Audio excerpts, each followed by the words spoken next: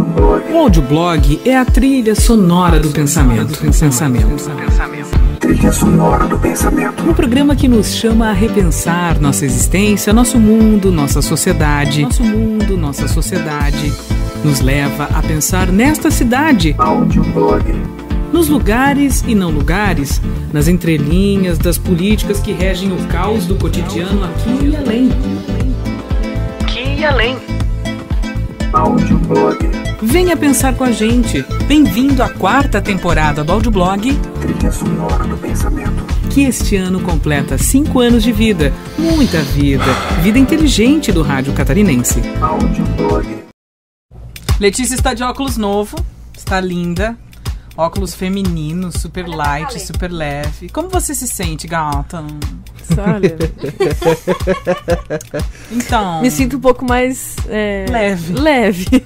o teu outro óculos era mais encorpadão, né? É, então era pesado. diferente, né? É, eu ficava meio. meio É. grosso, assim. Eu já recebi o conselho alguns anos atrás de um ótico que eu tenho que escolher armaduras bem pequenas. Armações. É, armações. É a vingança de Ana Paula Peixe. Freud chama isso. É o polegar de ontem, É, né? eu falei, Freud chama isso de ato falho. É porque, na verdade, Ato você se falho. sente muito frágil e você gostaria de ter uma armadura. Ah, Foi uma conexão direta do seu inconsciente com o seu que consciente. brotou no meu E consciente. daí você falou, você gostaria de ter uma armadura Uma pra se proteger do mundo. Ah, eu queria mesmo. Eu sei. Ficou claro agora, através do seu ato É verdade. inconsciente. Estou precisando no momento Freud chama agora isso de mesmo. ato falho. As mulheres mais estressadas, as mulheres mais estressadas do mundo, o negócio é o seguinte, as brasileiras estão em quarto lugar entre as mulheres mais estressadas. As brasileiras, nós brasileiras só não somos mais estressadas do que as mulheres na Índia, no México e na Rússia.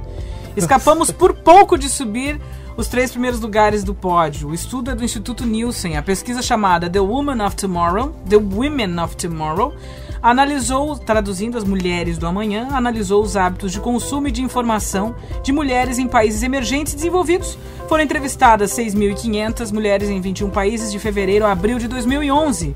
Entre as campeãs, 87% das indianas disseram se sentir estressadas a maior parte do tempo. 87% das é indianas. muita coisa. E olha que na Índia tem gente. É que na Índia tem uma questão de violência contra a mulher também muito impactante. A pressão é grande. E o nível de prostituição entre as jovens e as crianças também é muito alto.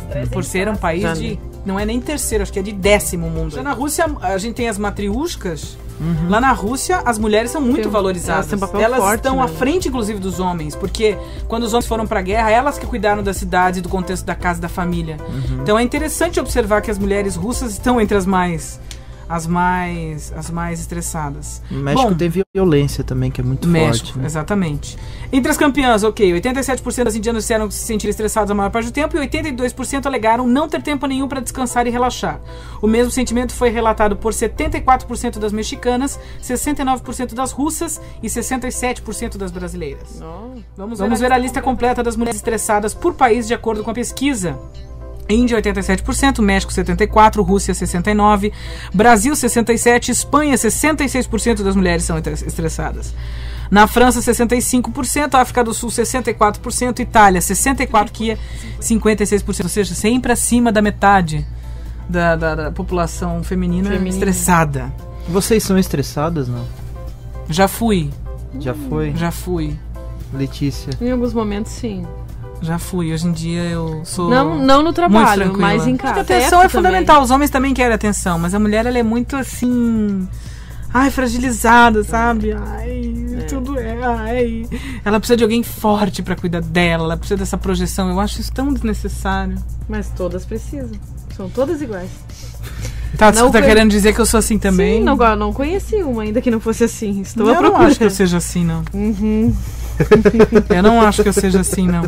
Estou à procura de uma Eu gosto de diferente. cuidados, mas eu não me mostro frágil. Não, mas eu não precisa mostrar. Não é o mostrar que vai dizer se é frá- ser frágil ou não. Porque a maioria O das que eu acho mulheres engraçado é que tem algumas mulheres que se mostram frágeis, mas são psicopatas interiormente. Tem gente que se mostra forte Aham. e não é nada, É, né? é, é. Né? Tem gente que É quer mostrar né? fortaleza Ah. e não é. Conheci algumas pessoas assim. Que é, É. aquela coisa assim do ou, As tô tais ligado. armaduras que nós é, falamos arma, no começo isso do programa. mesmo, da, que é de, de ter aquela pose, né? De andar de salto alto e na verdade ser um gatinho. Letícia Peters fala do cotidiano aqui no audioblog. É hora de chá comigo. Olha, Ana, hoje aconteceu algo bem bizarro comigo, assim, né? How bizarre, Ai, bizarro. how bizarre. Estava eu dirigindo, né, a caminho do trabalho, aquela coisa toda. E quando eu estou dirigindo, eu fico na observação, né? Você é a pessoa que dirige. É, eu Tão dirijo. linda. É incrível, você dirige. É bonitinho dirigindo? Esses dias eu tava com ela e uma pessoa parou, simplesmente parou no meio da rua. Ligou, pica, ligou, pica pra direita e foi pra esquerda. Nossa, não. Aí eu tava no carro da rádio com ela e eu buzinei dela. Ela falou, nós estamos no carro da rádio. Eu, eu sei que nós estamos no carro da Aí rádio, mas essa pessoa está errada. É. Eu falei, Ana, nós estamos no carro da rádio. Ana, por favor, Ana. Não, mas é que realmente foi uma situação extracurricular. Não, é perigoso, na verdade é perigoso. A gente podia ter batido, né? É, se dá pisca pra, pra um lado e Imagina! entra pro outro. Não, não, é- não. Ela parou no meio da rua. É, o trânsito inteiro tava parado e ela com pisca direito pra. E daí ela foi pra esquerda. Tá dirigindo e Pois tu é, tô eu pensando. dirigindo, pai, observando. De repente eu olhei para o retrovisor, né? E atrás de mim tinha um homem dirigindo, um homem muito bonito, né? De camisa, gravata. Aquele rosto quadrado de modelo, assim, né? E eu fui olhando pro retrovisor, olhando pra ele, né? Nossa, que homem bonito. Né? Sabe, capa de revista, assim, né? De Eu tô começando a ficar com medo. Ele enfiou a mão na orelha e começou a arrancar pelos da orelha, cara. Mas, mas peraí. Como que tu conseguiu ver isso no retrovisor? Retrovisor, claro, imagina. Pô, teu óculos novo é bom. E olha que eu sou ceguinha, e olha que eu sou ceguinha. E ele começou e arrancou, e arrancou, e passou para o nariz, e arrancou pelos do nariz. E, Nossa, o que a gente faz dentro do carro, né, cara? E tu não tem a mínima noção que alguém tá olhando. Conheço pessoas que, que alguém tá olhando. conheço pessoas que fazem coisas piores e bem mais nojentas do que essa. Não, lim- limpar o nariz é o básico. A gente vê sempre. O problema é quem come o que limpa.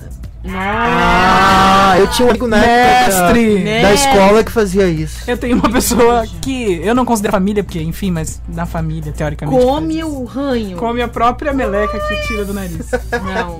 Mas olha, eu já tinha visto ranho. Ranho eu já tinha visto. Mas arrancar pelos do ouvido. E, e não, e eu observando o homem assim, né? Nossa. Praticamente uma depilação. É, depilação, né? Graças Ele era um Deus. Tony Ramos, assim. Nós não? reclamamos da nossa depilação, mas, cara, ainda bem que a gente não tem pelos no ouvido e no nariz, né? Tu imagina, né? É, homem tem bastante. O homem tem bastante. A gente até que tem um pouquinho de sorte. Nesse sentido, né? Mas eu queria. O, o recado que eu dou a todos que estão Mas eu sou sortuda, eu não tenho muitos pelos nas pernas, nem nada assim. Eu não, nesse sentido eu tenho sorte. que- É, tem Porque eu tenho amigas que, coitadas, É, quando tem- elas vão à depilação, elas sofrem. Elas sofrem. Também conheço gente bem peluda. Bem peluda. Bem peluda. Tony Ramos, né? Tônia, Tônia Ramos, né? Tônia Ramos. Mais algum assunto pro Não, seu mas, mas eu conselho pros homens que estão dirigindo, né? Que Tome- tomem um pouco mais de cuidado. Existe alguém olhando pra você, né? Não adianta a gravata e o carro, né? Um carro importado e, né? E é Ah, Aquela um situação importado? constrangedora. constrangedora. Nossa. É praticamente uma depilação. uma depilação e olhando ali, né? Tipo, Ele olhava pros pelos. arranca e olhava pros pelos. Nossa. E ela observando tudo isso pelo retrovisor. E eu- ai, eu olhei o detalhe. Everything. É, adoro observar. It's time to get away.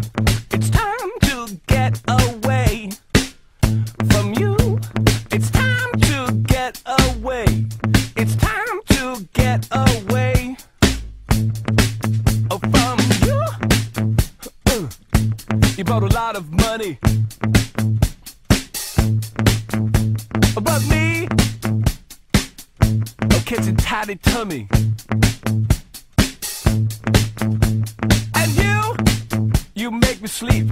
I try and try, but you undermine me. Uh huh. And I start to be sensible. If you know what I mean. And so it's time to get away. It's time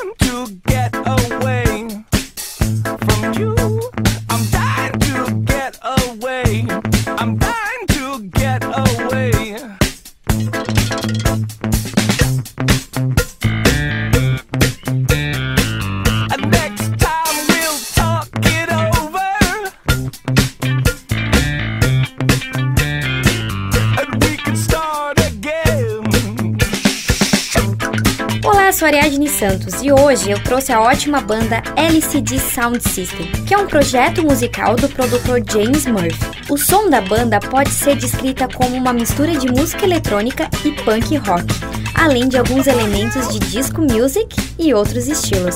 É algo surpreendente. Em 2005, a banda recebe duas nomeações para o Grammy, uma como melhor música eletrônica e dance music. A banda é eleita por várias revistas como a maior revelação do ano. Se você quer ouvir algo de boa qualidade, conheça mais da ótima banda LCD Sound System.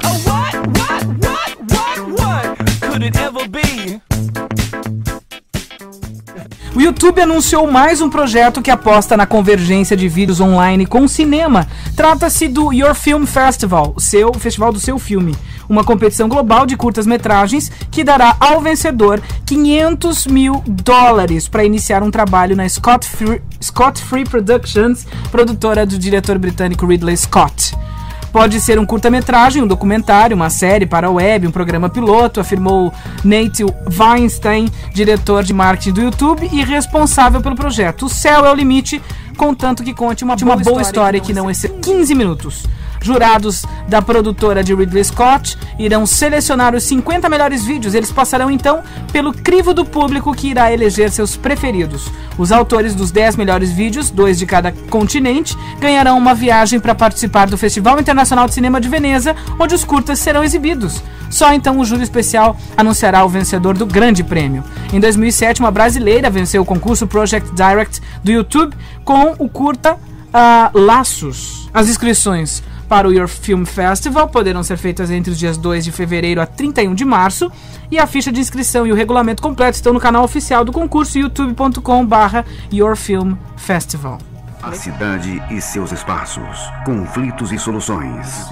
É hora de falar e viver Joinville, com o sociólogo Charles Henrique. Bem, Ana, Letícia, ouvintes do Audioblog, hoje bem rapidinho Viver Joinville, só para lembrar, já que estamos nessa vibe cultural no finalzinho do programa, ah, lembrar o, o cidadão joinvilense que a exposição do Cal Parade está na última semana aqui em Joinville e as vaquinhas estão indo embora. Então quem ainda não viu as vaquinhas... E algumas serão leiloadas e uma parte do dinheiro será destinado a Isso. associações da- de Santa Catarina. Isso, todas elas irão para Florianópolis, lá vai Lembrando acontecer um que leilão. É, que é uma obra de arte, tá, gente? Não é Isso. legal botar as crianças em cima da, Da vaquinha. vaquinha. Lá no É, Garten, o eu certo vi não algumas deveria nem pessoas tocar, colocando... É, certo. Não tem nem que tocar na vaca. Pois é. É pra ser apreciado, olhado. No Garten tinha gente colocando crianças em cima da vaca. Só, só que faltaram vaquinhas na- nas praças aqui de Joinville, nas vias públicas. Também achei, também achei. Mas eu acho que é por isso que não. É, é. É, porque as pessoas acham que é parque, né? Não, é, é, tem, tem muito disso. Então as vaquinhas vão ficar essa semana. As vaquinhas vão ficar essa semana, irão para Florianópolis, irão para leilão.